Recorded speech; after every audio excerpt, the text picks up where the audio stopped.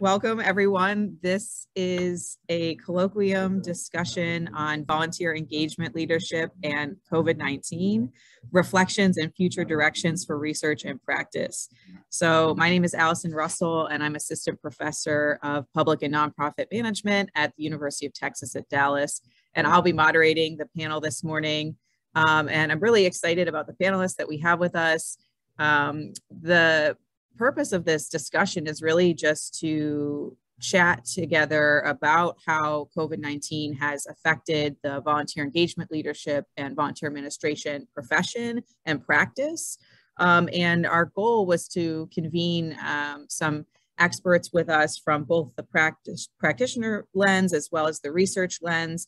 Um, and so we have a good mix of that here with us. And uh, we're excited to have this conversation and to see, you know, what, we, what we've been dealing with in the past couple years, but also what is the way forward? Um, what do we see as the future of the profession? And also what are some questions and considerations for both practitioners and researchers um, who study volunteering going forward?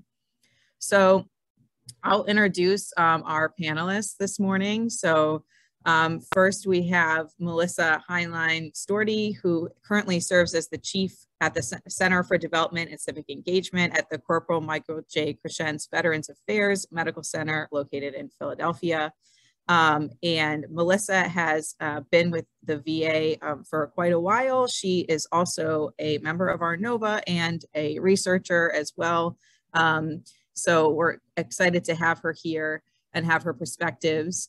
Um, we also have with us Betsy McFarland, who is a strategist and problem solver who has forged a unique professional niche focused on empowering staff and volunteers committed to tackling challenging societal issues.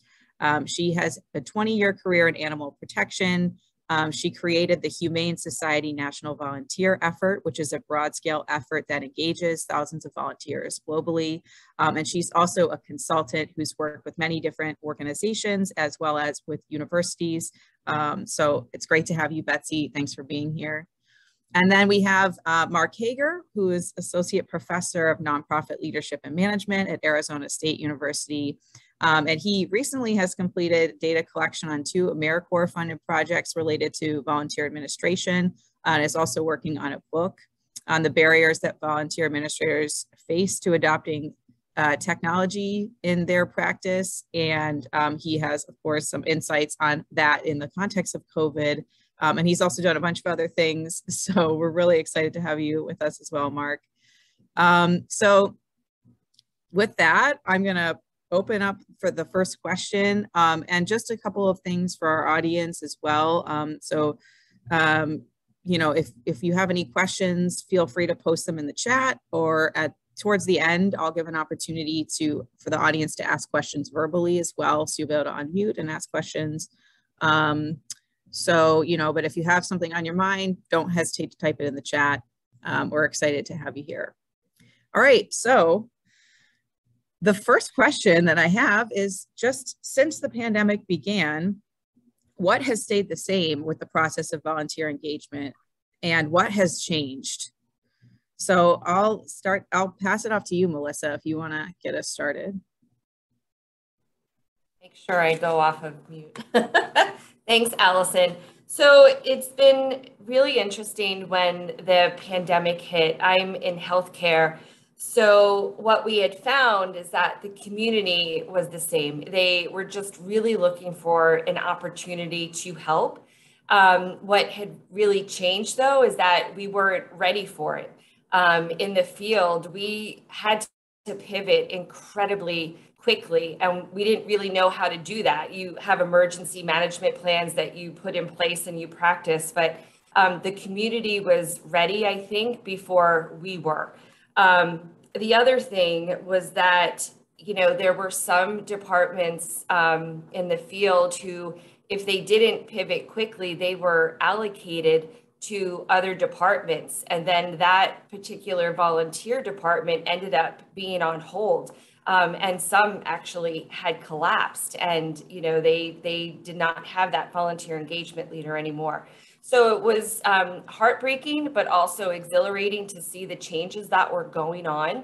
Um, but the biggest thing is that the community was ready um, and we had to act very, very quickly to get where they were so they can help us fulfill the mission of our organization at the time. I'll build on that if that's okay. Um, if I just step in, I don't know if you wanted to call on us, uh, but I'll just jump in. So I, I, I would concur with everything Melissa said. And just to add to that, I think um, one of the things I found really interesting about the pandemic is I, I, have a long history of also doing disaster response. I mean, Melissa, you alluded to the disaster response issue. Um, and, you know, hurricanes, floods, whatever those things are. And I think in a way, this was such a different kind of disaster. I think one thing that struck me was in every other disaster I've worked, which is quite a few, everyone runs to the disaster, right? But in this case, so many of the people who normally step up and act were asked to stay home. And that I think was a real challenge because I think it was really, and still is, because so many still are sitting at home idle uh, was super frustrating for volunteers. And I heard that through, you know, a lot of the clients I work with, since I do a lot of consulting work with different organizations in working even with their volunteers, it was, why can't we help more? What can we do? You know and some some sectors did like melissa you said they pivoted more quickly. I saw food banks were much more because they had to right? Like there was no choice. They had to figure this out fast. But others were really struggling and just kept asking volunteers to stay back. And i think that created some tension and challenge. And i think a lot of organizations have lost their volunteer teams as a result.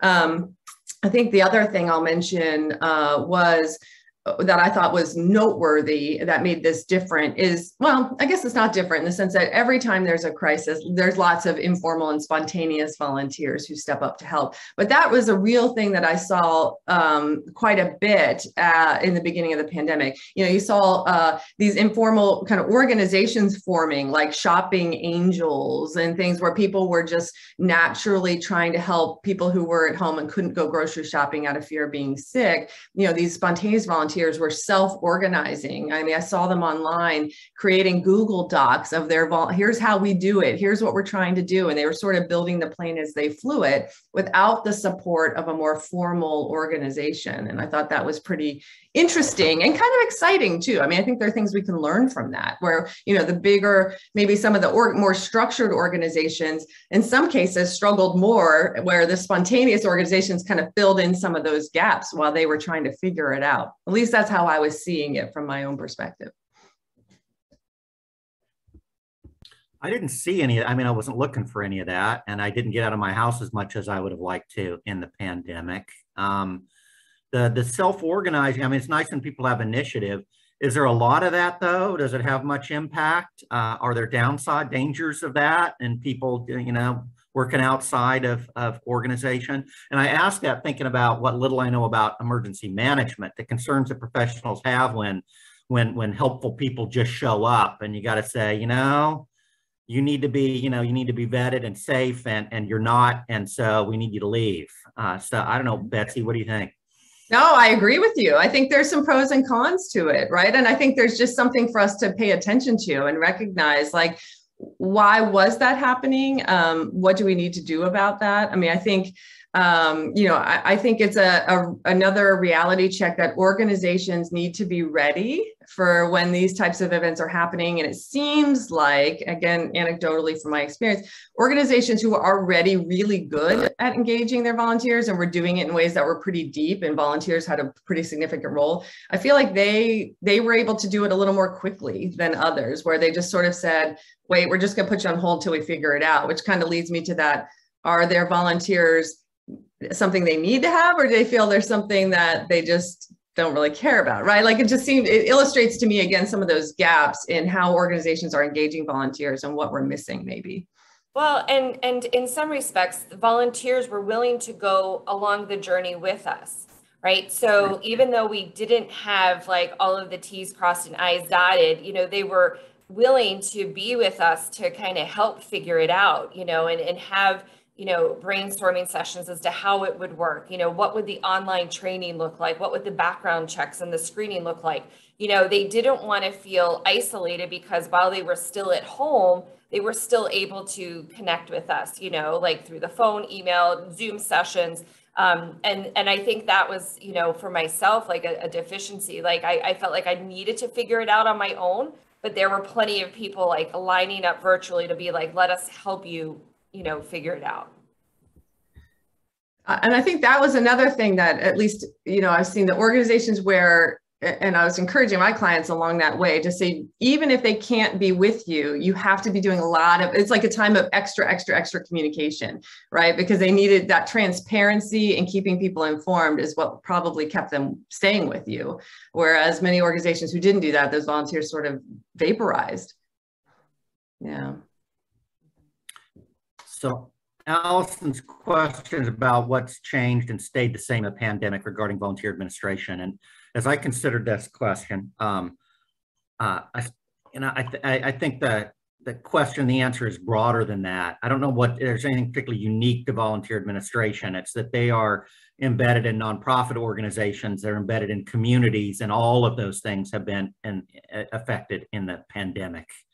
Um, I think my few observations off top here aren't going to be different from what Betsy and Melissa have said. You know, we don't have any crazy contrarians in the panel that are going to lead us in new directions, I think. So uh, I, but you guys are more on the ground than me. I get, I'm a little more, uh, what do you say, sort of, uh, you know, have my fingers on the pulse that I do on some other projects because I'm coming off uh, in the spring and the summer, just of 2021 of this year, uh, having had 181 uh, certified volunteer administrators. You see the CVA and Betsy's title right there.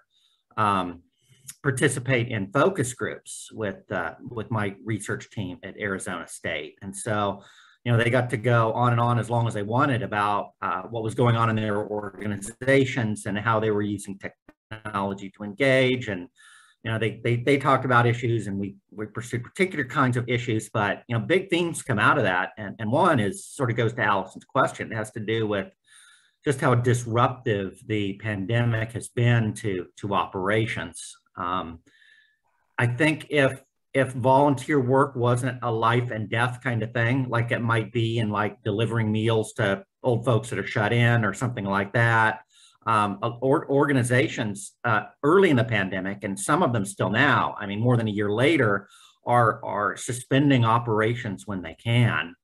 Uh, I am this semester not working at my office in downtown Phoenix, uh, but instead am what I call embedding in a in a nonprofit organization in my neighborhood where I'm meeting uh, every day with my with a graduate student to work on on this work specifically. And that was really attractive to me to work in a nonprofit organization and had volunteers run around and a professional volunteer administrator and it, it hasn't worked out that way. I mean it's been great by and large um, and we have lunch regularly with the volunteer administrator but there are no volunteers running around because they haven't reestablished efforts to bring volunteers back into a largely volunteer run organization. And you know, I suspect that's not atypical. I think that where, where volunteers were essential, organizations have tried to find various ways to continue operations. But when they're, uh, you know, maybe just about civic engagement uh, or, or, or things that aren't life and death, I think nonprofits are still holding off uh, here now, you know, 18, I, I, should do the math, you know, well, you know, into the second year of a pandemic from from uh, from bringing volunteers into their into their operations. So the big change, I guess you would say, and and this is not strange to anyone, is uh, nonprofits have gone all in on on what are called ICTs, information communication technologies. Uh, Zoom is maybe our best example. Teams uh, in order to uh, communicate with volunteers. There's another class of ICT that's that's sort of bloomed in the pandemic, and that's the use of social media. Uh, so there's a lot more of that going on, uh, creative applications of that, wrestling with how those are going to work in organizations. Um, it's not new, as I say, but organizations had to double down or experiment and with the use of these ICTs uh, in order to best engage their volunteers. And even if the volunteers aren't doing anything, they want to stay in communication with them as best they can uh, so they don't lose them entirely. So we had, for example, uh, one library uh, that, you know, in normal times is uh, having uh, one group of elderly folks doing readings in person with a, you know, a group of kids. uh, something the library did to both, you know, promote, uh, you know, reading and, uh, you know, interaction between, uh, uh, but between generations. Well, you can't do that, but they've been pretty innovative in gathering people in through social media and connecting uh, with with uh, with the Zoom uh, in order to deliver programs in in neat sorts of ways. And uh, you know what they do with that in the future. Well, I'm not sure. I'll have some comments about that on some of the later questions. I, I think, but um, right now, at least, we're still seeing a lot of double down on information and communication technologies. Um, some volunteering still going on people returning, but it's just under various degrees of the COVID protocols. It's who knows what next month's going to look like or or even next year.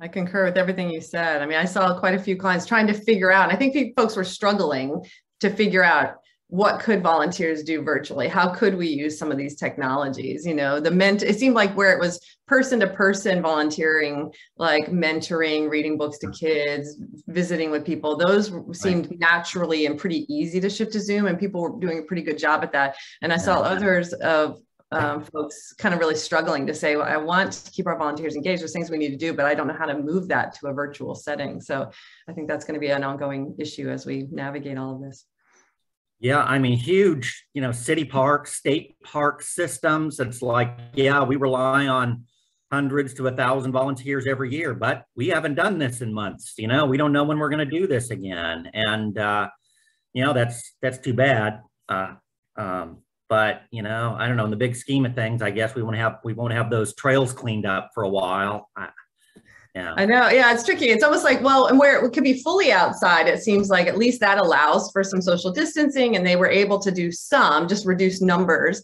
or yeah. all virtual. It's almost like the in between inside a facility, it seems to me, where a lot of people are really struggling. I know I work still work with quite a few humane organizations animal shelters and the like. And, um, you know, they, I've seen a lot of them starting to kind of slowly work their way back to bringing volunteers on site. They did things in the beginning where it was like volunteers didn't come inside, but staffs would bring them dogs to walk or something where they didn't, you know, they could reduce interaction. And then they began to work on different teams, like volunteer teams, like staff teams. So they work in pods so that it kind of reduces. And if, if anybody ended up sick, they could contact trace, right? So I've seen a lot of different models people are trying to use use. But so it's been pretty interesting to watch them navigate it um, and try to figure it out. But yeah, it's, it feels like everyone thought this would just be a sprint. You know, we all thought a couple of months, we'll get through this.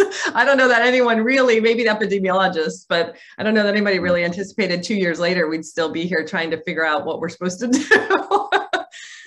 That's a great segue to the second question. I don't want to cut off Melissa, but uh, yeah, Allison, why don't you go to that second question because Betsy's already right on it.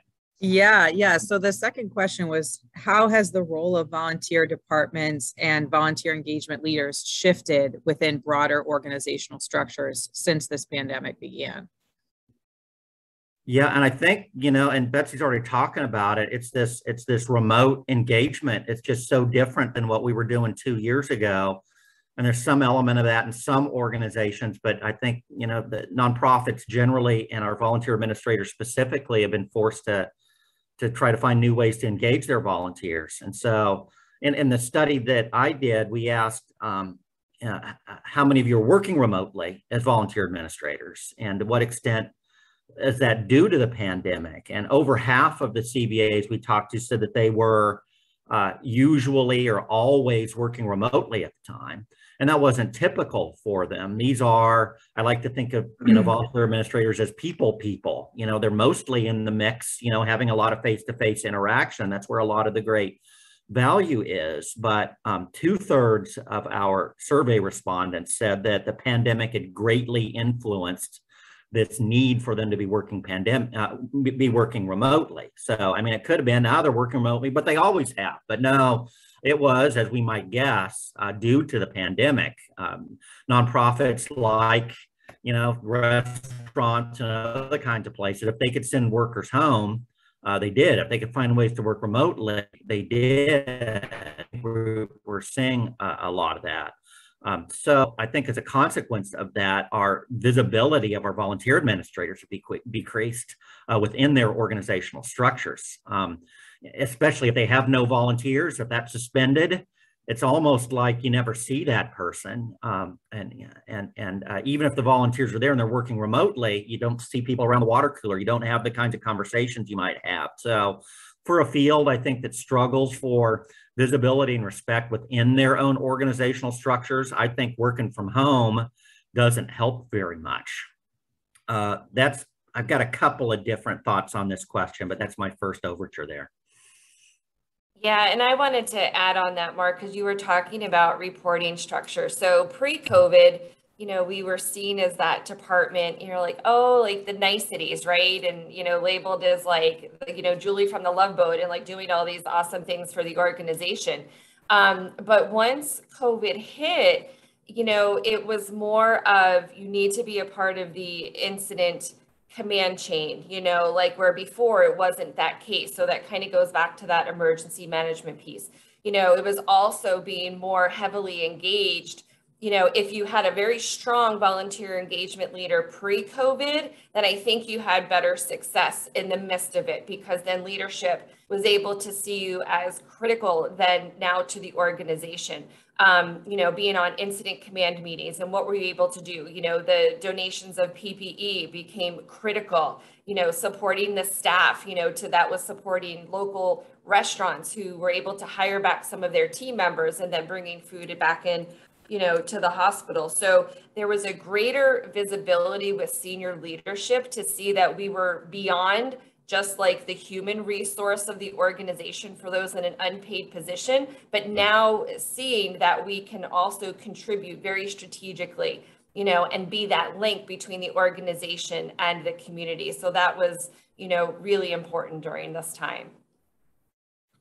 That's a good positive thing then. That's nice to hear actually, because I know a number of the organizations, at least early on, I was hearing were either furloughing or laying off their volunteer administrators or their volunteer managers in the interim, saying, well, if there aren't any volunteers, we can lay you off, or they were being diverted to other work, like asked to just work on other things or do other other projects and or even to do themselves the work their volunteers would normally do which was another thing we were seeing. So it's um you know, I think that again is one of those illustrations of, of, you know, how do we value this population of folks who are donating their time to our organizations and the person who's leading them. And I think we still have a lot of disconnects, which I think we'll talk about later and, and what that looks like and where it needs to be in organizations. Um, so, yeah, I think um, so many, well, I guess one thing I would add is given now where things stand, I'm hearing too, the volunteer managers who are, you know, still very engaged. A lot of them have come back if they were laid off,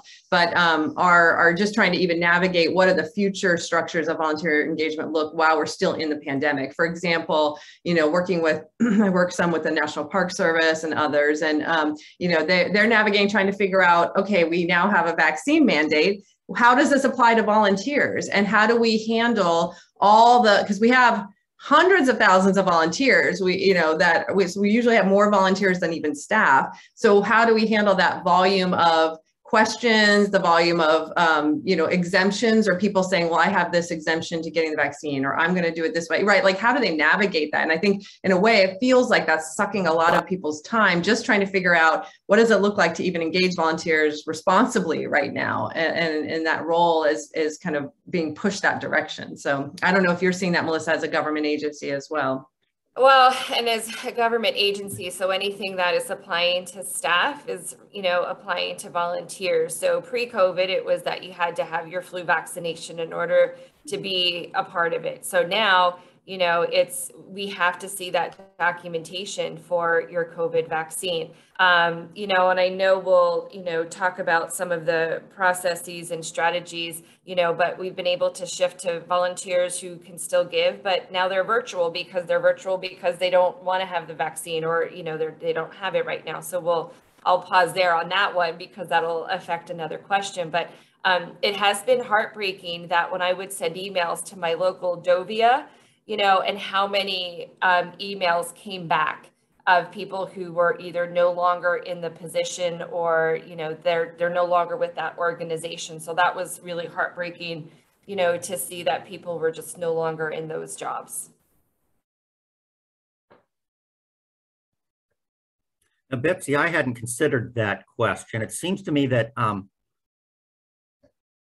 if there's such a mandate um, that volunteers also be vaccinated, that technology can go a long ways and uh, you know just sort of smoothing the bureaucratic process on that. Do you think organizations are going to push back or, or or not get down this road because they see it as burdensome, or is it something they'll be able to tackle? They'll be able to tackle it. I think it's more just, I mean, that's my gut is I think they have no choice but to tackle it. But I think it, was just interesting in the conversations I've had with some of the leaders of volunteers, they're saying, well, now I'm kind of, a lot of my time is being spent just trying to figure out how to make this process work, right? Uh, because it's new and because people have a lot of questions, there's some hesitancy. And then there's, you know, is, is it, if you don't vaccinate, are you having to be tested? It's just, it's, it's just the, um, it's like the protocol of it and just trying to deal with it on the fly when it's something they haven't had to do before.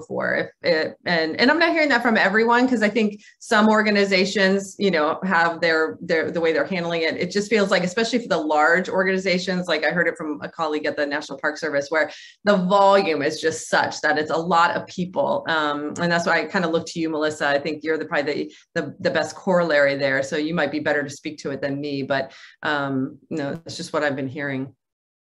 Yeah, and you know, being on healthcare, but even those who, you know, in my local areas that are not in healthcare, you know, that mandate has been, you know, critical. Um, you know, in order to protect their clients, their patients, their, you know, their staff and their and their selves. But again, giving them an opportunity that if you still want to give back, you can do so virtually. But unfortunately, we can't have you be face to face when you know, for so many organizations, that what we're that's what we're used to. We're used to holding hands and you know and being right up front for people. So it's it's been a change. It's been a challenge.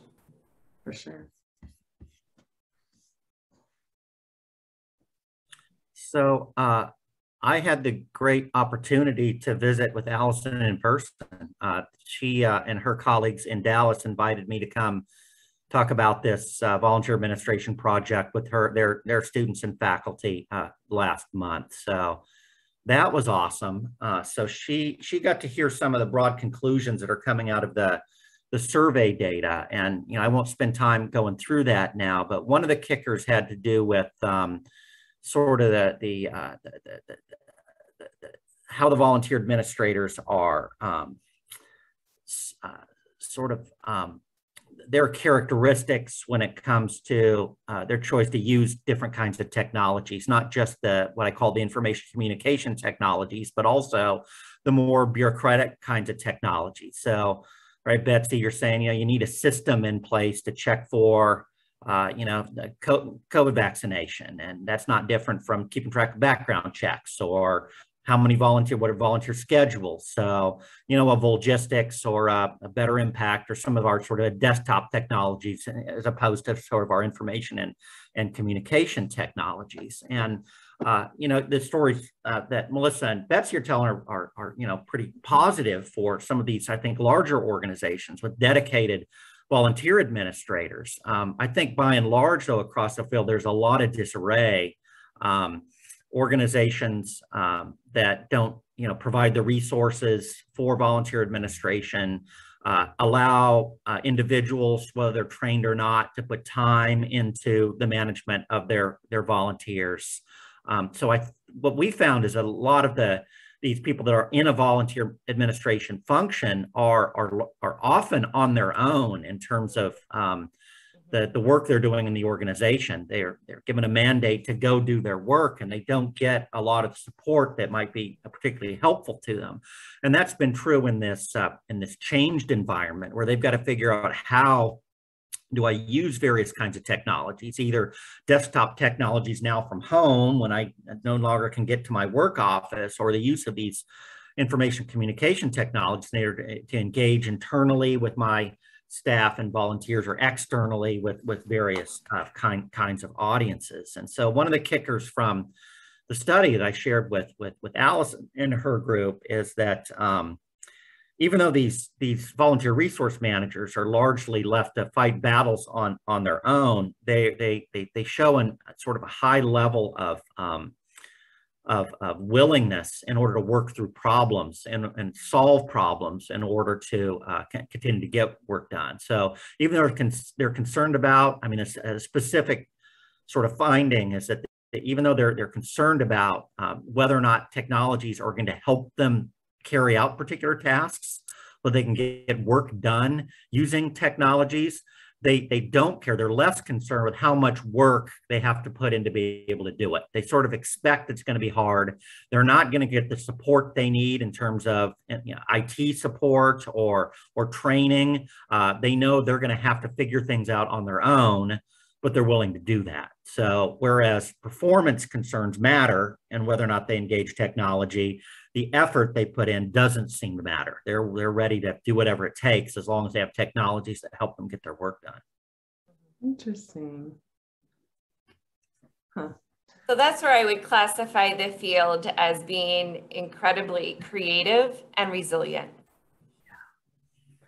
Yeah, I, I wonder if it's it also attracts people that are uh, uh, particularly mission driven. I'm not sure I would expected to find this in a bank uh, or you know a, some other kind of non-community kind of a setting uh, where uh, you know people, folks are like you know I'm, I'm here for mission oriented kinds of reasons. And even though the path isn't particularly easy for me i'm willing to put in a little more time and effort in order to make sure that the that the that the work gets done. So i think there's a sort of a unique sort of nonprofit environment kind of result here that puts what i say kind of a scope on how my what I'm looking for applies mm-hmm. in this particular context. I mean, and this may be a later question, but since we're being kind of organic, I mean, you're, I, I love that. I love that you're sharing that and really appreciate that, that you have data on that. But, and I, I think it also illustrates, and you were alluding to this too, that you know our organizations often don't maybe even understand what is needed to effectively work with volunteers you know it's like there's almost like an expectation or assumption that it this just sort of happens by magic how hard could it be they're volunteers yeah.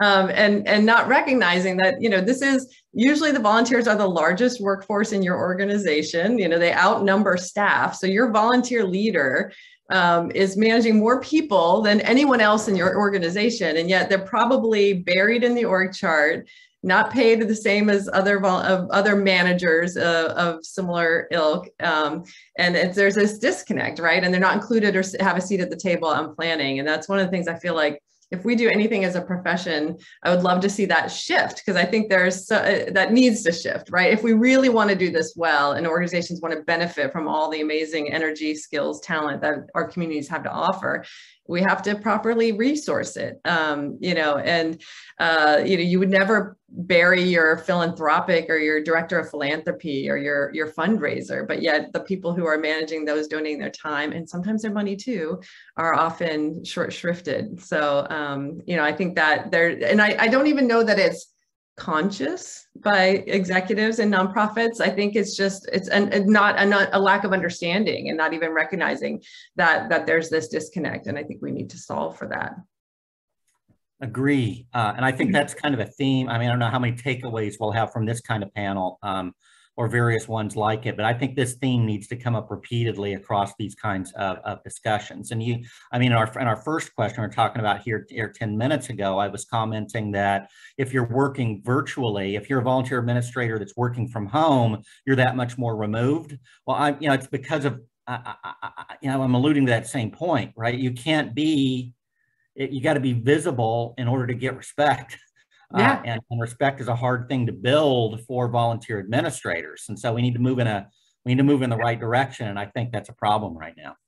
Yeah, yeah. and I think it's interesting too, just to quickly uh, jump in and then build off this question a little bit, because I feel like this is a point that has been discussed for years. Um, and Mark, I know, has yeah. talked about it in different work you've done um, in the first VMC in the early 2000s. And you know that it's something that is still persists this this this fight for visibility this fight for kind of legitimacy within the organization. And you know i think it's a theme that you know also comes up in the second vmc that you did that was from 2019 but i just wanted to raise a point from that um, study that uh, mark and jeff brudney did um, with data from pre-pandemic. But the data pre-pandemic was suggesting that the largest group of organizations surveyed, about 41% or so, had a volunteer, a designated volunteer administrator, um, or a person doing that role, but they spent less than 50% of their time doing it.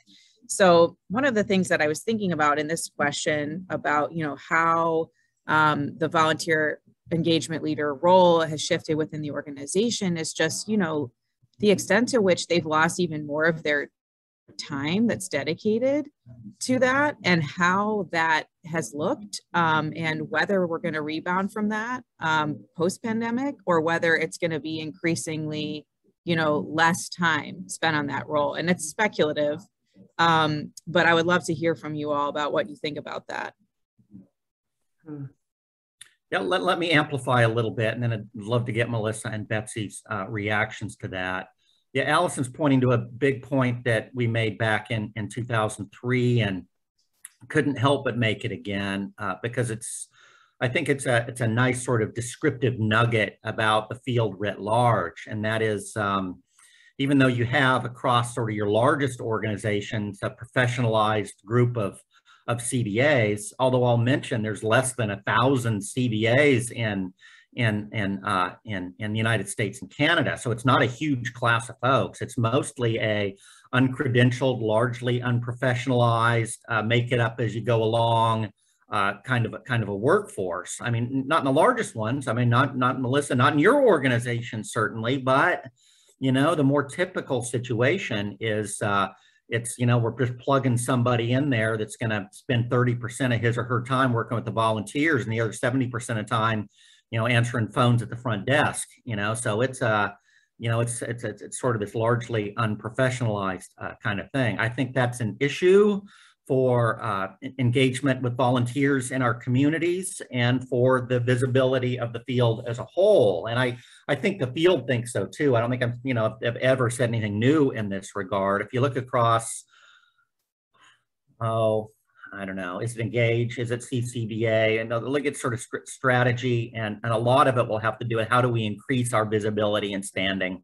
How do we communicate better with boards and, and internally with top management teams about what we do and you know how do we calculate ROI in order to have an advocacy position in order to generate more resources so people think about these things because they know it's a it's a problem either in their organization or for for so many of their peers uh, Allison says, are we taking a step backwards? And I, th- I think first we don't know because, you know, we don't have pandemic or post-pandemic kind of data to compare, but, you know, I, I'm right with her hypothesis there. I suspect, you know, given all the, the things that we've talked about so far that, um, that uh, volunteer administrators have taken a step back in, in their or individual organizations in terms of prestige uh, and in terms of the amount of time uh, that they're able to spend uh, working with volunteers. Will we be able to recover that?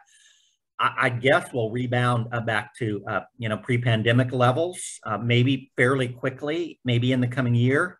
Um, but I don't know that that's a celebration. It's always been too low, in my opinion. Um, hopefully, we'll get back to that. Will we have a reason to rebound above that?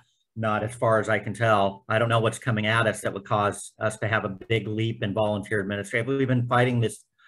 We've been fighting this question, you know, I've only been concerned about it for 20 years. I'm sure it's been there longer than that. Um, I don't know what's going to take in order to uh, push volunteer administration into a more professionalized and respected spot.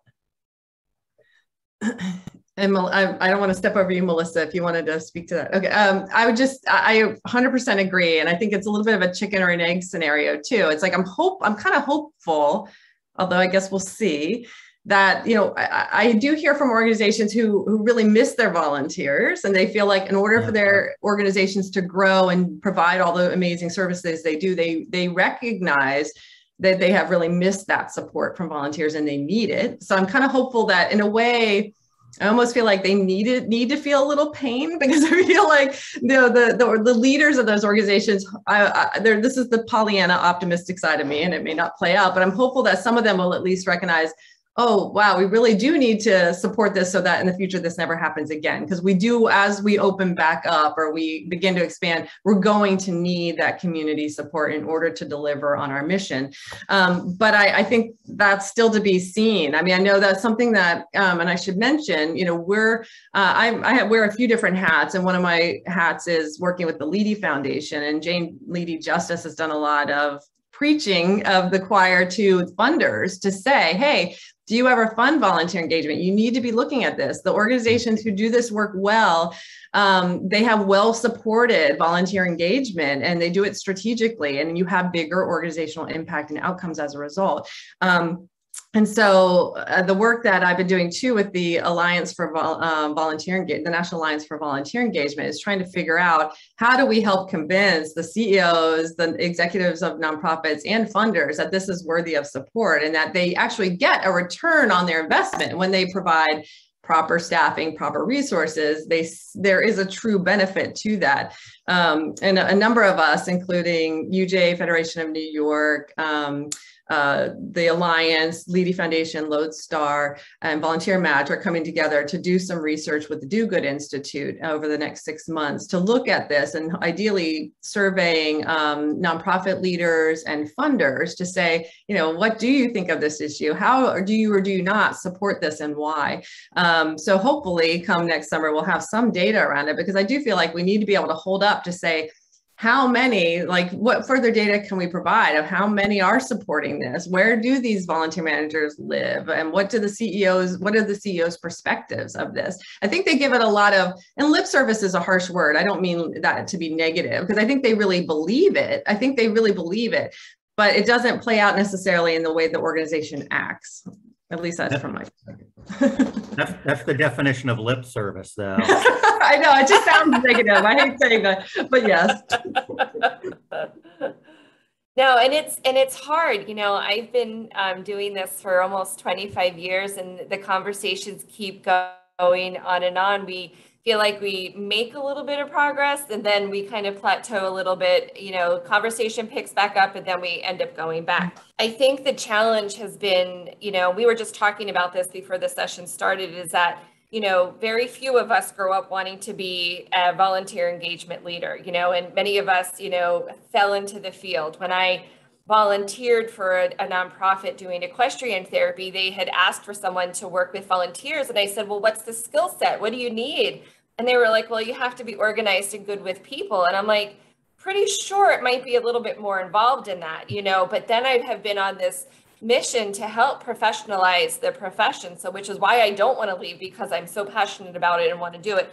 The other challenge is that many will use the, the position um, as a stepping stone into the organization. So, you know, that tenure may only be a couple of years because if they are a department of one, they can't do it by themselves. They haven't maybe scooped up great volunteers to help them in that department, and then they end up leaving because the support is not there from the organization. So, you know, it, it does become, you know, a challenge. And I think there are some those in the field globally who have been, you know, amazing, you know, to really get the field where it, it needs to go. But the rest of us need need to follow.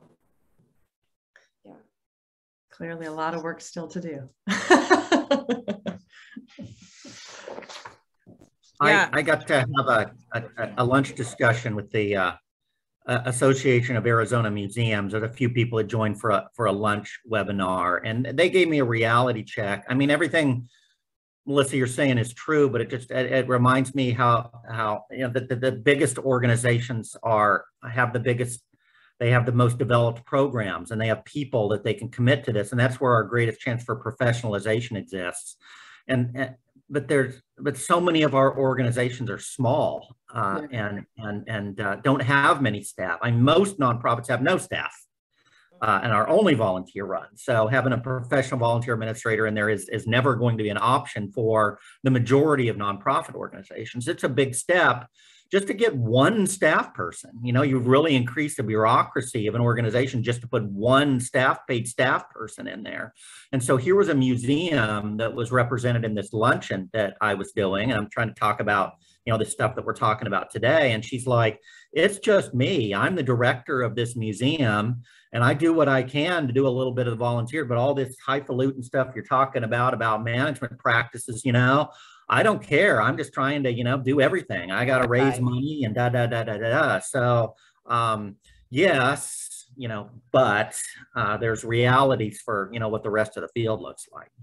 And I think we have, you know, for the larger organizations, we have a responsibility to help those smaller ones. So, you know, we I've been sitting on a task force for the last three years just to look at um, position descriptions and get higher grades you know for people. And it was a lot of work to do you know and i kept saying like we have to be able to help those smaller nonprofits those organizations give them hope you know to be able that it can be done. But we're we're not helping them at all if we're just saying like well why can't you do it? Well and i've been there. I've been a department of one. It is incredibly difficult.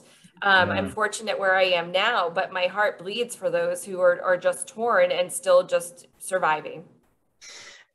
And I, it makes me think too in order it makes me wonder in order for these smaller organizations i think that's absolutely right. I think and i think they are really challenged to figure this out. I also think there's a little bit of a lack maybe or we all need to do a better job collectively of helping to illustrate and demonstrate ideally with data what the true impact is when you do take those few steps. Because i think like there's almost like a lack of recognition like and maybe this, there's sort of like a mixed issue because on one hand you know some folks have had great experiences with volunteers others have not had always such a great experience because they haven't been supported. So in a way volunteers feel like more of a headache than a help. And so you have all these layers to it that it makes me wonder how much folks really recognize the power of it and why when you do it well this is what happens. And i feel like that that storyline maybe isn't as clear as it potentially could be to um, help organizations see why they should make the time in some way or another to to make it happen. I don't know if that if i'm articulating that what's in my head very well but I, I feel like there's something there. Like maybe we haven't as a profession done enough to help share that return on investment no, you're making perfect sense. You know, it's an argument that I, it's been a, that's been a big theme out of the stuff that I've been trying to communicate for a while. Thing is, you know, from where I, I said, it's hard to, it's hard to get into the heads of more than a handful of people. Um, so, uh, you know, how, how best do you then actually get to the people who matter? And it's often not the people that are paying attention. We're talking about boards and management teams that aren't thinking about volunteers very much uh, if at all, you know, during the course of their operations. You know, how do you get how do you get that argument uh, convincingly to them? I think that's a tough question. Yeah, and I think it's a matter of also holding up those that are doing it well and seeing that impact. I mean, we um, I mentioned Jane Justice with the Leighty Foundation and the National Alliance for Volunteer Engagement. You know, we've been doing some sessions like at the Iowa Nonprofit Conference and Minnesota Council on Foundations um, to try to get in front of folks who normally don't hear about this. And the response, I mean, it's been small effort so far, but trying to figure out how do we start talking to executive leaders and talking to the folks who are funding those organizations to say, are you paying attention to this? Because here's what's possible. And there has been some really good response. And I think there are some great examples that maybe we need to even continue to hold up. I mean, like I love recently UJA Federation of New York was sharing, and I have it in my notes here somewhere, that they, you know, they're they have added because they're seeing the power of volunteers and how it can transform when done well, their grantees organizations, you know, they've started including intentionally in their grantee applications questions like, um, you know, please would you like to include a budget line to help support the volunteers who will be helping you with whatever this program is you're applying funding for? Like how are volunteers helping you to build impact in this program? I'm not saying the wording exactly but they're actually starting to ask those questions which is amazing. Like no one's ever done that before. So i think gosh can we hold those folks up and show what impact that's having so others begin to say oh maybe i should be asking that right like it feels like it has to come from a different level because i feel like because the volunteer leaders or the engagement professionals don't always have that access. It almost takes a different approach to start pounding that pavement. We can't always expect, I think, our volunteer engagement professionals to, we do need to expect them to effectively advocate, but I think they need help advocating. I think it needs to come from other executives who are doing this well to tell their peers why it's important. and that's interesting, Betsy, when you're talking about the budget line, you know, for the volunteers, which my question to you, Mark, through your research with the ICTs, was that a question with your your groups? You know, do they have a budget to do the things that they need to do? Good question. No, I mean we're only we're only surveying CVAs in our case. Right. So we're already, you know, with a class of folks that are working as professionals within their organizations. We didn't ask. Um, I think we can make some assumptions that that group of folks is a little more resourced and professionalized and positioned than your typical volunteer manager is going to be. Um, so I, I both don't know for this group, but I also, if I did, I wouldn't extrapolate to the broader nonprofit sector. Okay, thanks. I'd love to hear why Timothy and Matthew are here. If they would they chime in and tell us what brought them to the session? Sure, uh -oh. I can. I'd be happy to share. So, uh, my name is Timothy Hoffman. I'm the director of our uh, service learning programs that we have here at Seton Hall University. So it's just been very interesting to hear some of the issues on the volunteer management side from organizations because we've been working with volunteer manage managers for the last year in this very different space. Um, and we've been making sure that when we do go out and try to send students virtually, or now as we're starting to do some in-person programming, that we that we don't want to overwhelm any of them, um, and that we don't want um, we, we don't want to be a burden to the organizations that we're working with. So it's been very, very interesting to just kind of hear some of the discussion that you've been having about this, because as we're looking to uh, go back to whatever normal looks like in the future, uh, we're going to be having these conversations with more uh, volunteer managers. And I just wanted to hear some some perspective uh, from based on my uh, based on the uh, the abstract of the presentation today. I thought this would be a good fit, a good learning opportunity, and so far it has been. So thank you. Thanks, awesome. Hello, and um, I'm my name is Matthew Garcia, and I'm I'm a High Point University student, and um, I've been interested in like going into the nonprofit sector. So, like mostly like, and I'm sorry, I'm just a bit nervous. Oh, don't, we don't bite. well, I'm well, I'm so, so, I'm kind of interested like in the like like the volunteer sector and wanted like to get like learn a little bit more, like especially like how how volunteering ha- has changed since well since we're in this COVID situation, and I believe this is a, mm, quite an interesting session.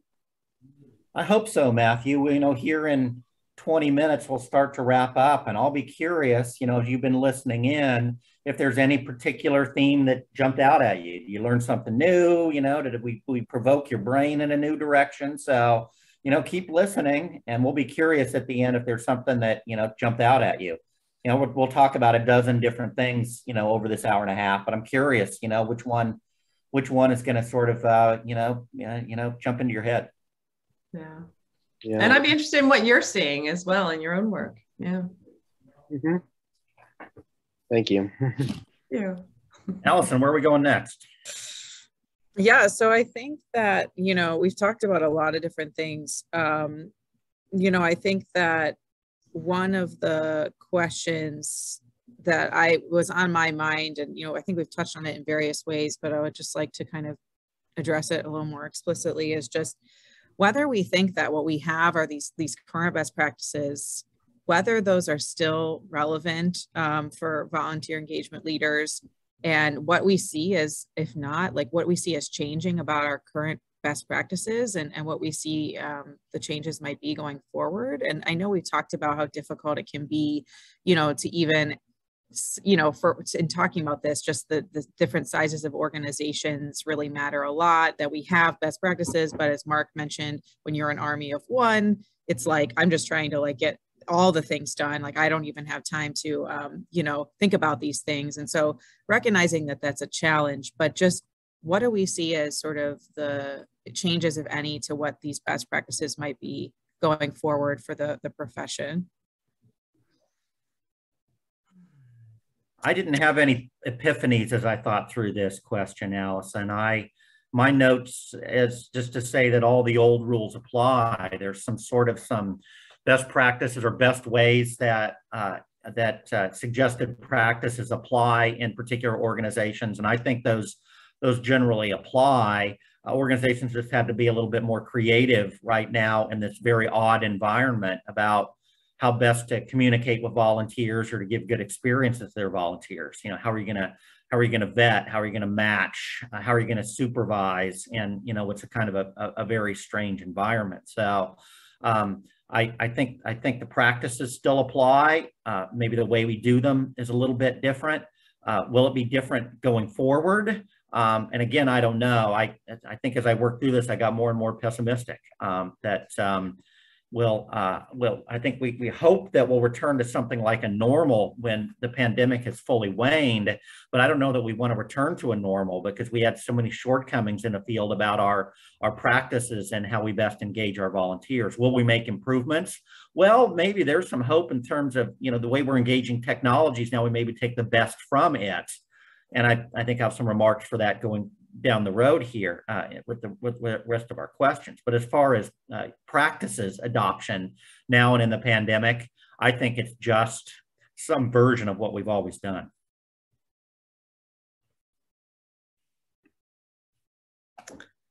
I would agree. Um, I think the one area where, and I, maybe this is the next question, so I don't want to jump ahead. Melissa may have more to add here. Is I think the, the illustration of the issues with um, DEI diversity. I think that is a big area that we'll see some in terms of our best practices. How that perhaps is putting up barriers to folks maybe we didn't recognize before and may not have realized until all of the last two years happened. But Melissa, you may have others to offer on this. No, and I just echo with what Mark was saying, like the what we've been doing has not changed. It's just been done in a different way.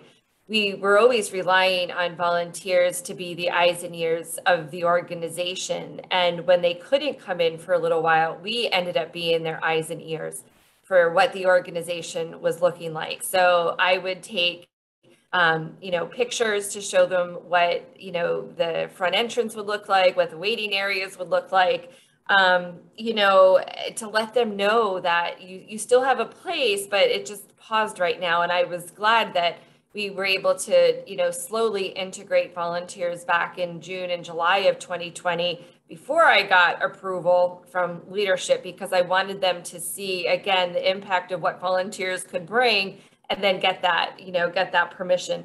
Um, and then I think, you know, the best practice was just to really enhance the technology.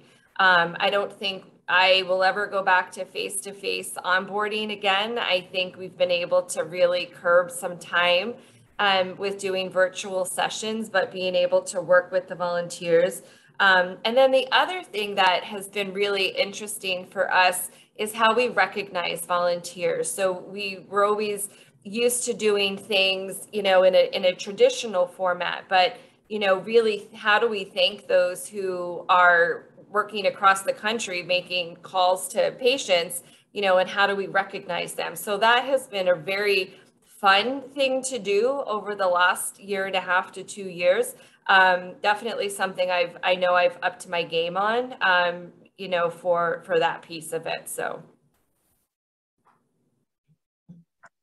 Yeah, thanks for that. And Betsy already kind of alluded to this next question, but I think we'll just go right to it. Um, so, how has COVID 19 further influenced access to volunteer opportunities? And to build on that, what should we be focusing on to promote diversity, equity, and inclusion among volunteers, as well as volunteer um, administrators and volunteer engagement leaders.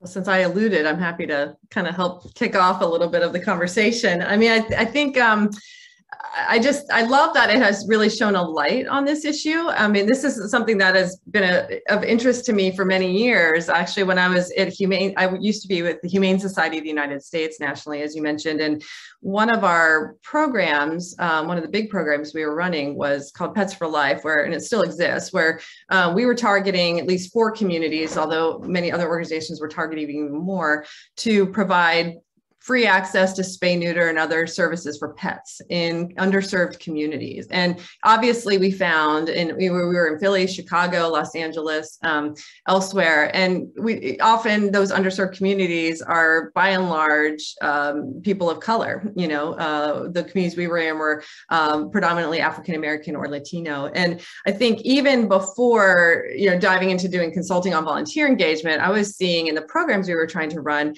you know, there there are a lot of issues when it comes to uh, organizations going into underserved communities and trying to engage underserved communities. I mean, I think I learned a lot in that process in terms of even just our language, like our field and the animal welfare field would go in and say we need to educate the community and tell them how to handle their pets. It's like no, we don't. Actually, we need to go. We all need to share information because we need to learn from them. They need to learn from us. We need to connect people. It's not about swooping in and saving, recognizing these folks are doing a lot of amazing work on their own. They just may not be connected to organizations outside their neighborhood because there are barriers. And I think it, for me, was a real enlightening time, you know, coming from the suburbs myself of recognizing, right, like it's different. And uh, by and large, our volunteer communities tend to be middle class white. And and you know a lot of times we're not representing even our nonprofits are not representing the communities that they serve. And there's good reason for that. I mean i think it's and hopefully there's more desire to do it too but i i, I don't even know if it was a lack of desire it's just maybe a lack of understanding and that some of the processes and best practices we employ as leaders of volunteers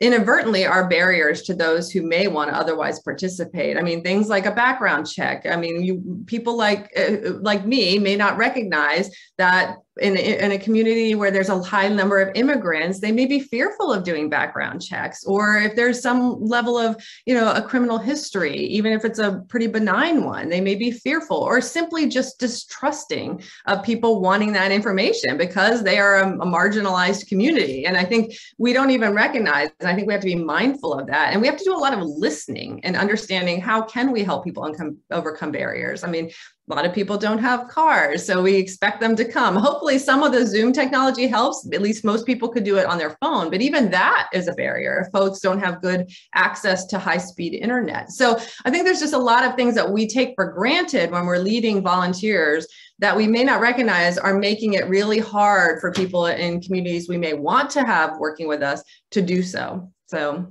I'll get off my soapbox now. I would love to hear from both, you know, Mark or Melissa, what you're seeing or how you what you're thinking and, and feeling about that issue. Well, you actually just made the main point I want to make, so I'll just uh, underline it and talking about how what we're thinking about right now. Uh, so I mentioned these focus groups we did in the spring and summer of 2021, and this graduate student I'm working with who is awesome, named Rachel Nova, uh, who I'm working with most days. Uh, and we finished what we call coding these focus groups. So we have, you know, these, you know, hundreds of pages of transcripts of, of, of these focus groups, and we just go through them word by word, line by line. I mean, we're not coding words, we're coding concepts, right? And what's coming up out of the narratives. And we're we look for specific things that we're focused on in the research, but inevitably we're going to see things. People are going to talk about things that we really hadn't expected or that we that we weren't looking for. And this question of we call it access. It's a isn't part of dei but i mean access is sort of fundamental to diversity yeah. equity uh, inclusion right? There ought to be an a probably in there in there in there somewhere. Um, and so we've we it's it's become a prominent theme and i think it's an important thing um, that's coming up out of our our narratives. Uh, and so we pitched to Nonprofit Quarterly last week, one of the field publications that you all may be familiar with, and their editorial team was going to meet earlier this week. We haven't heard back from them, but I, I suspect they'll go for this because uh, diversity, equity, inclusion has become a big theme at Nonprofit Quarterly. So we expect that, that they're in their wheelhouse. And what we, we pitch to them is something that's come directly up out of the narrative. It's not like that we we thought of this. It's that, that you know the field kept pushing us in this direction. And it's it's it is this exactly this distinction that Betsy was just making at the end of her comments. It's a pro and con kind of a thing. And we're focused mostly what we're seeing is mostly is in in in, in use of what I was calling earlier information communication technologies. That could be social media, that could be um, that could be Zoom or Teams in order to interact with your publics, with your volunteers or your or, or your other stakeholders. And on the one hand, and again here I'm just sort of saying what Betsy was just saying, uh, it provides it can provide access. I mean, our Zoom right now is an example, right? Betsy, where are you physically? Maryland. Yeah, and Melissa, you're in the Pacific Northwest right now. I'm in my hotel room in Atlanta. oh, we're all here in Atlanta. Well, let's go have some. Let's go have some coffee for lunch. Well, anyway, so at least you know some of us here here in Atlanta, and uh, you know, uh, uh, you know, but Betsy, you're not, and I guess that's the point. So you know, our communication technologies can can can reduce these barriers, and we have all kinds of conversations and narratives about what what uh, social medias and communication technologies brought in terms of uh, providing access to people that normally might not have access uh, and how that can be good in a non-pandemic kind of environment. The flip side though that we, we need to not ignore is the um, is the technology gaps, that there's unevenness in people's access to technology. Think about the people that aren't in the room now or couldn't be in the room for whatever reason. Uh, that may be a money issue, but it may be a technology access uh, issue. And it is for many people, about prospective volunteers in, in uh, often poorer communities, usually a money issue uh, that's related to the access uh, to, to technology. And if there's unevenness of access, then there's there's a diversity, equity, inclusion uh, issue, and that's a theme that that that came up. Uh, the kicker, we think, uh, or the sort of the conclusion that Rachel was was selling to the the nonprofit quarterly, is this idea that uh, in the pandemic, nonprofits kind of kind of had to whiplash. You know, you get hit with this pandemic and you have to react quickly and we we whiplashed hard over to the con side. It's like adopt these technologies now on the fly and let's make the make the best of it. And we got some benefits out of, it, but we really accentuated the cons. The people that were going to be excluded because of technology gaps were really excluded, and we didn't really have the time to think best through how do we be more inclusive with our communication technologies.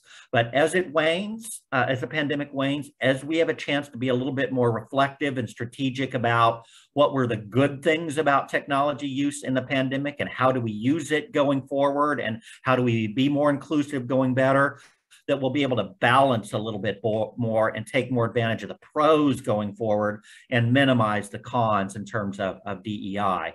So even though I said, you know, I'm sort of pessimistic about the future, um, I think our technologies have some some value with some strategic reflection going forward in our organizations to uh, increase both access and to be more inclusive of, of people that have problems accessing technologies. That's a good point. You know, while I, I liked how you said whiplash, I kind of like that better than pivot, Mark. Um, you know, and, and we were trying to do things even with like our youth volunteers over the summer to give them an opportunity to give back. And, you know, I'm in the heart of West Philly, which isn't, you know, the best area.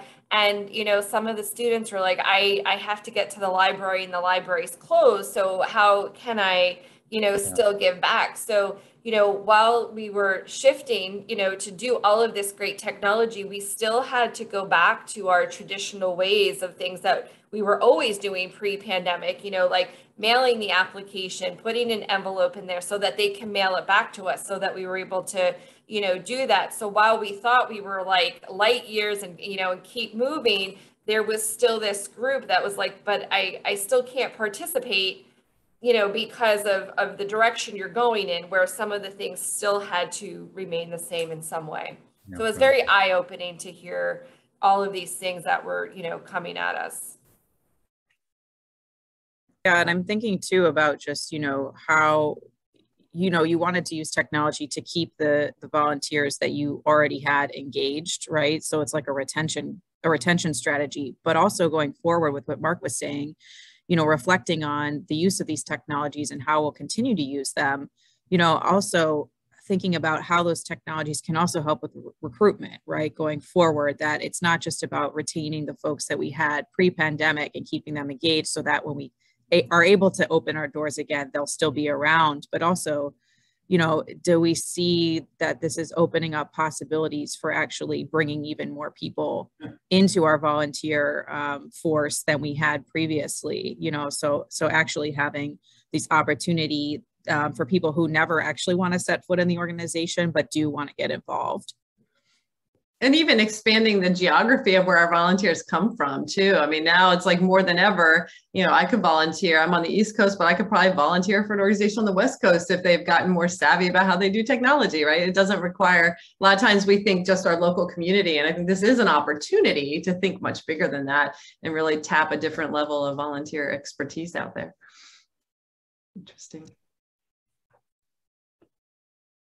Yeah so i think you know I kind of want to just have one more kind of prepared question, um, and then we'll kind of see if there's any audience final thoughts or questions. Um, but something I'm really interested in, and uh, Melissa and I were interested in when we put this session together, was just thinking about, you know, what are the questions that we should be asking collectively as both academics and practitioners, um, and what topics do we think, you know, we should explore in the research going forward?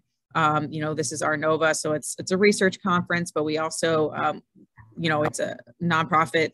Studying nonprofits is an applied discipline, so we always want to know like what are practitioners interested in, what are the implications of our work for management, and so, in your opinions, what are the questions we should be asking? What would you like to see coming out of the research going forward?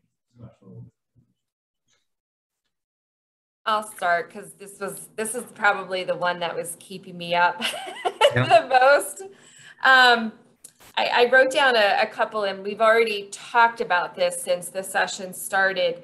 Um, but why, and Betsy and Mark, you were talking about this as well, as to why some organizations do embrace the volunteer engagement leader while some are like i just maybe as a collateral duty for someone to be in that role maybe with not having those skill sets. Um, you know why why isn't the need there? Like why aren't they seeing the need? Um, the other one you know because of um, covid is some of the roles that we will no longer see with volunteers. So there are some that have sunsetted because of COVID as a more emerging volunteer roles have come up. Um, I know for some in my own organization and just talking to those in, in even non-healthcare, we'll never go back to certain volunteer roles, you know, because of, of the pandemic.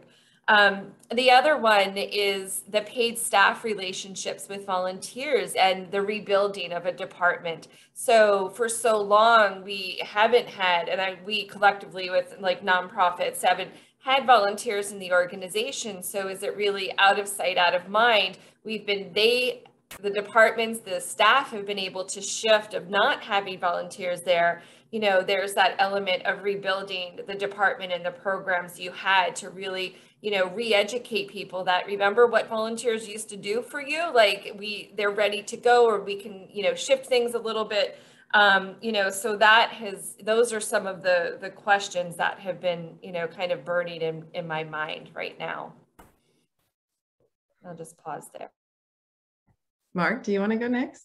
I, I think you two will probably cover most of it as research uh, focused folks but I, i'd love to hear what you're going to say. Well i was reading through my notes and like trying to refresh my memory how I thought about this when I thought through this a few days ago. And uh, I'm not sure there's, I don't have any rocket science here. One of the point, my first point is just, uh, it's just the technology question. I think we haven't thought about that enough. Um, I sort of, I don't know, pat, patting myself on the back that I feel like I've stumbled toward a, a relevant question in the field right now. Uh, and then after I got going, uh, you know, Allison and Melissa contacted me and said, "Hey, we've been thinking along similar lines. That this is a this is a this is a question that's relevant to the field right now. Uh, not many people are paying attention to it in any systematic sort of way. Uh, I think there's a lot of fruitful questions that can be asked about uh, uh, technology use to uh, so that organizations or individual volunteer administrators can do their job better to engage volunteers so that volunteers can both make impacts on communities or be more civically engaged themselves. There's a lot of values to volunteering that we can't get if we're not more productive in our uh, in our engagement with volunteers. And so I think technology can go a long ways there. My second point, it's a, it's a, it's a it's sort of a it's sort of a mess. I'm trying to make sense of how best to summarize it, but it's it's not different from how Melissa was starting out there. It's going back to sort of that how the field is viewed and how we how the field can get uh, can get more respect and how it can communicate with with stakeholders, be they funders or board members or top management, people that hold purse strings or make policy decisions. Um, uh, that allow volunteer administrators to be as effective as, as they might be able to be. Uh, but you know, it's not so straightforward as that. I think I think what I think a road I'd like to get down. We'll see if I actually do. Is and it's it's it's it's hard to write because I think a lot of uh, academics they to the extent that we like to have a relationship with the field, right? We want to talk to the field. We want to be relevant. And so we end up being a little bit falling a little bit toward the advocacy side. Mm-hmm. Yay, nonprofits, yay, volunteering, right? Where really academics shouldn't shouldn't be that. We we should be a little more objective and try to talk. We, we want to be able to talk as much about the warts as about the, the victories. And I think there's some warts that could be more honestly described uh, about the field of volunteer administration. It's sort of, I mean, there's lots of evidence that's kind of a messy, largely unprofessionalized space with um, you know we asked we asked in our survey uh, what's your title mr you know you're you're you're the main person who's uh, you know managing volunteers in your organization what's your title? We got a hundred different responses. Of course. Now we asked what's your main technology that you're using on a day-to-day basis you know to work with volunteers? And we get a hundred different responses. So you know, I guess diversity is good, but you know, I think it's evidence it's sort of a messy, unprofessionalized space. Um, uh, Allison was talking earlier about how few volunteer administrators work at least half their time. And I've long held that if you're not working half of your time doing something, you don't think of yourself as that. You know, if you spend a little time doing so, you're not that, you're whatever you're spending most of your time on. So I think the field is dominated by too little professionalization. And we, you know, the field talks about professionalization and image and internal advocacy and resource development. Uh, uh, but I think uh, the more we can be honest about this is what the field looks like and this is its issues, then I think we can be more productive in thinking about, well, then how do we move beyond that? What are the steps then to overcome some of this messiness that's evident in, in the field right now? So uh, maybe it falls to somebody like me to write something that's a little bit, you know, about writing about the war. It's a little less advocacy oriented and a little more objective about this, the status of the field right now. It's a great, really great insights. And I think too, it, you know, it, it, has to be valued, right, too, by those organizations that, and the, the, the leaders of those organizations. And I think there, I think it is a bit of a catch 22. So I think writing about that would be amazing. And I, I mean, I mentioned that research earlier that is now beginning to get underway. We have we're working on the survey design with Do Good Institute now at University of Maryland. Um, Bob Grimm and Nathan Dietz, I think, are both probably at the conference. Um, but it'll be interesting to see out of that, like how do because that's one of the things like in terms of looking at research moving forward. I am really interested to better understand what's truly going on in these organizations as ecosystems. Not so much what's happening with. I mean, I'm interested in volunteerism, but I'm more interested in or you know what's happening inside these organizations organizations? What does that look like? And what's happening with the support that they are or are not getting from the funding community and why? Um, because I also think, you know, our CEOs of nonprofits aren't exactly going out and looking for funding to support their volunteer engagement. They just don't even think about it. They would, they most don't even think about it. And as a result, funders don't even recognize this. This is something that they should consider supporting. And so, you know, I think we have a lot to learn there. I think the other uh, piece, given the pandemic, that I would love to see a focus on is picking apart as we come out on the other side, hopefully, of all of the last two years, a, a better understanding of like which about what's happened, of course, uh, what, what are the dynamics that have been at play and what have been the impacts. But I'm really curious about like what organizations or sectors were were successful during this and why, like, or, and who wasn't and why. Because I also think that will inform what we were just talking about as to to to to what level of support it gets and why. Because I, I think that would be an interesting question to better understand is those who have happened to thrive or at least made it through by keeping most of their volunteer teams intact what were they doing that was different than those who really had to lay everyone off or, or lost a lot of their volunteers? I mean, I, I, intuitively feel like we have enough experience to probably have a good sense of why, but there, I'd love to see data behind that. Are we right? What are some surprising findings there? Right on. Yeah, awesome. Well, uh, we have a few minutes left. Um, if either of our audience members want to um, ask a question or just chime in with any concluding thoughts or um, takeaways that you had. I'll open the floor to that. Let me even be more specific. Hey, Matthew, anything, what, what jumped out at you? Do you hear anything over the last hour that uh, took your brain in a new direction?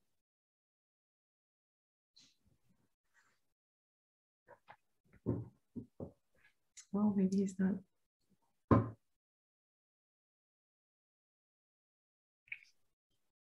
We might have lost him. Or maybe Timothy. I see Timothy is texting oh, or chatting. Matthew, you just Matthew. Oh, he did. Oh, I'm sorry. On, Matthew, come back. Come, come back, back, Matthew.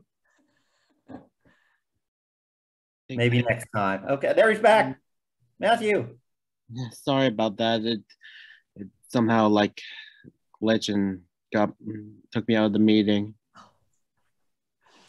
Did you uh, anything you heard over the past hour that uh, was going to stick in your brain? Well, I think uh, like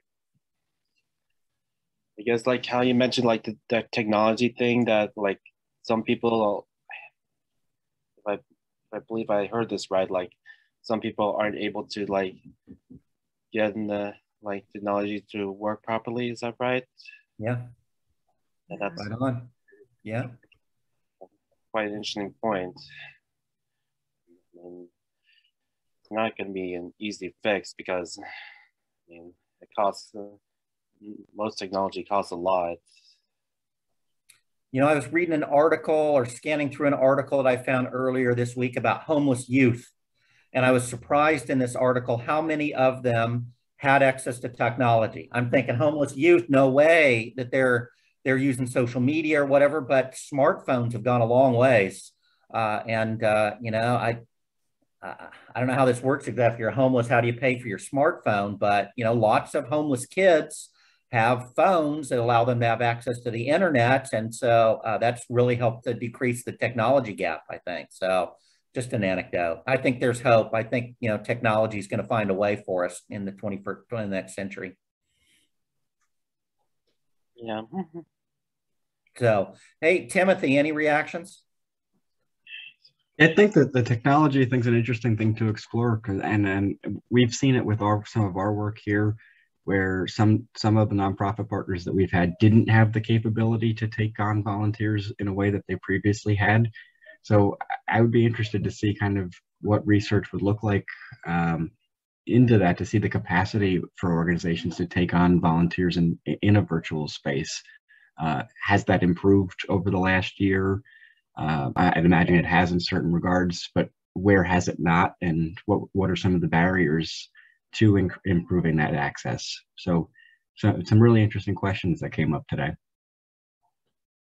Interesting. I hadn't considered that. You know, I think people, a lot of people are going to assume that if you're if you're if you've got a virtual volunteering platform, that reduces problems of, of, of, numbers, right? I mean, you can maybe only manage 100 people that are cleaning up a park, but you could have 10,000 people that are coding craters on Mercury or whatever your virtual assignment is going to be. But that may not be true. You know, maybe, maybe kind of all kinds of burdens, um, either electronic or, or, or, or staff time in terms of managing volunteers effectively in a virtual space. It's not something I've thought through at all. Yeah definitely something that will be unique. It will be. It will yeah. be interesting. Right on. Yep. Allison, what do you think? Well, I think that we're almost out of time. So I just wanted to uh, conclude by thanking you all for participating. I think we've raised a lot of really interesting points and questions here. Always more questions than answers, but I think that's what's exciting. Um, you know, there's opportunities to kind of explore these things going forward. Um, you know, I, I, also agree the technology piece is particularly interesting, especially within that context of access, as you said, Mark. And I'm really interested to see, um, you know, where that goes. And also, Betsy, your point about funders and funders not considering volunteer um, volunteering as something worth funding or maybe they just haven't been approached about it i think that's also really important and not something i'd considered mm-hmm. either so you know what what that can look like um, as well if if we are able to get you know managers advocating to funders that this is something that should be part of a grant um, you know and and what that will look like. Um, especially i think too if we can couch that in the context of access and dei because that's so relevant right now um, you know that could be another way to kind of you know make the case for for um, funding volunteering and by extension volunteer administration and the people who do that work. So I'm, I think this is all, this has all been really interesting. I'm really excited about it. I've taken a lot of notes. Uh, and thanks to our audience for being here, and for your great, your great questions and, and comments at the end. Um, and with that, I think that we've reached our time. Um, so thank you all. And um, I'll see you around the conference and